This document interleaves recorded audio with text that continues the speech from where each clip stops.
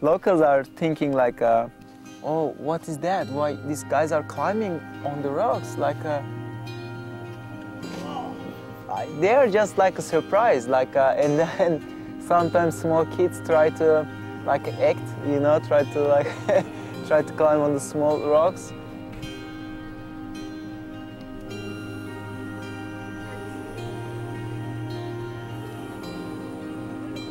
It's this is poor village. The people are like uh, thinking different, you know. They must like uh, survive in life.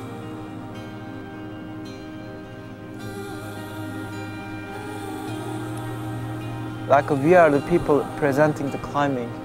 I mean, I can change them. I like your mustache. Look, see, he's Turkish. trying. If I do that thing right way, why not? They will not be afraid to send the kids to climbing.